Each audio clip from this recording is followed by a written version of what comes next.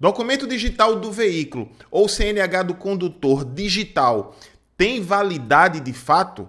É possível apresentar os documentos em meio digital e o agente que não consegue consultar se aquele documento é válido, ainda assim o condutor poderá ser autuado?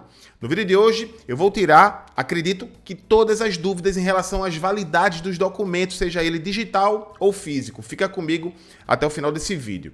Eu sou o professor Carlão e você está no Manual do Trânsito, um canal dedicado à educação para o trânsito e de formar profissionais para um trânsito mais seguro.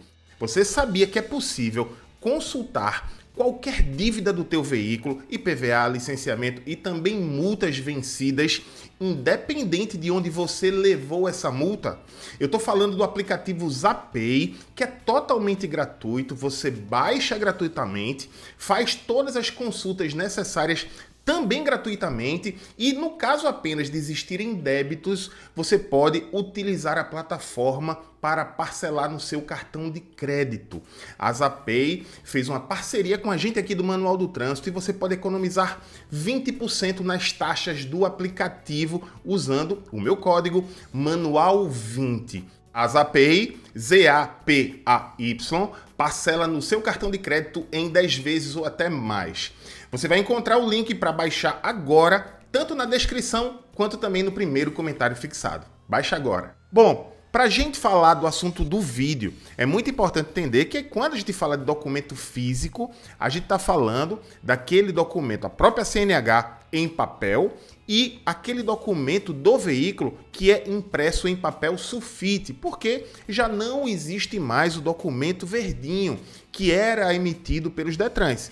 É, não é verdade que não existe mais documento do veículo em meio físico. Existe sim, só que ele agora é uma folha de papel A4 que pode ser impressa por qualquer pessoa. Então, toda vez que eu falar em documento físico, eu estou falando deste documento em papel A4 e também da CNH em meio físico. Quando eu falo em documento digital, aí sim eu estou falando de ambos os documentos apresentados por meio do aplicativo Carteira Digital de Trânsito. Então, a primeira resposta para essa pergunta é: sim, os documentos digitais têm a mesma validade jurídica dos documentos físicos. Nenhum motorista é obrigado a estar com a folha de papel sulfite nem com a CNH de papel em meio físico. O, o fato do condutor apresentar os documentos por meio do smartphone, do aplicativo Carteira Digital de Trânsito, já tem validade, isso não há o que se discutir. Agora, se aquele condutor não estiver portando nenhum documento, é aí que muitas pessoas se enganam. Ele foi conduzir um veículo, nem tem documento físico, nem está, por algum motivo, com os documentos em meio digital. Ou porque o smartphone descarregou, ou porque esqueceu, ou porque foi roubado, seja lá qual foi o motivo, não está portando esses documentos no meio físico ou digital, pode sim ser autuado. Mas a pergunta que muitas pessoas querem saber: eu serei autuado de todo jeito a resposta é não. O porte desse documento, tanto do veículo quanto da CNH, continua sendo obrigatório. Repetindo, e-mail físico ou digital. É obrigatório você estar portando. Agora, se porventura, não importa o motivo, você não estiver portando e o agente de trânsito fizer uma consulta no sistema informatizado e atestar no caso do veículo, está licenciado, está tudo em dia, não tem problema, ele vai liberar o veículo.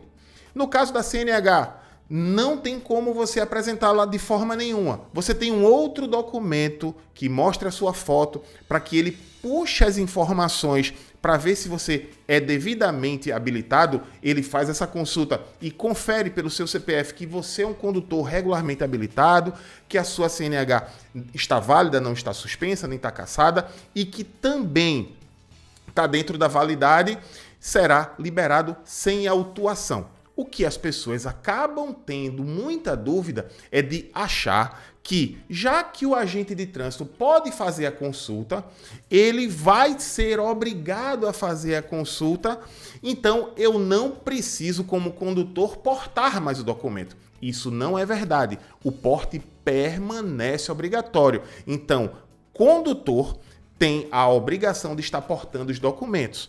Agente de trânsito deve ter ser munido pelo órgão de trânsito que ele trabalha a fazer essas consultas. Mas é possível a consulta não acontecer? Sim. E se a consulta não puder acontecer?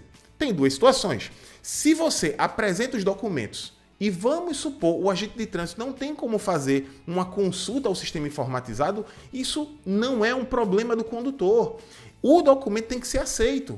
Ah, mas eu apresentei na carteira digital de trânsito e o agente de trânsito não tinha como consultar, que inclusive nem precisa de internet para isso. O aplicativo viu, ele faz essa consulta. Mas vamos supor que o órgão de trânsito não deu esse, essa ferramenta de trabalho para o agente de trânsito. Não é um problema do condutor. Se você apresenta, tem que ser aceito. Agora, o fato de você não apresentar e o agente de trânsito não ter como fazer esta consulta, aí sim poderá ocorrer a autuação. Então, só para deixar claro, o porte do documento por parte do motorista ainda é obrigatório, do veículo e a sua CNH. É obrigatório. Se ele não estiver portando, o agente de trânsito podendo consultar o sistema informatizado, que na maioria das vezes, pelo menos nos grandes centros urbanos, vai ser possível fazer essa consulta, ele poderá sim ser liberado. E condutores que apresentam, mas o agente diz que não tem como consultar, por exemplo, se é válido, aí já não é um problema do condutor. E aí, ficou ainda alguma dúvida em relação a essa questão do porte do documento do veículo? Deixa abaixo aqui nos comentários que eu vou responder a maioria das perguntas relativas a esse assunto. A gente nem sempre tem muito tempo para responder a todo mundo, até porque aqui tem quase diariamente conteúdo. Tem conteúdo lá no Instagram, tem os cursos, mentorias que a gente faz. Então a gente trabalha com conteúdo. Então muitas vezes tem gente que fica chateada porque a gente não responde, mas esse é o nosso trabalho. A gente trabalha com conhecimento e a gente precisa dar suporte aos nossos alunos nossos alunos, esses sim, nunca ficam sem respostas.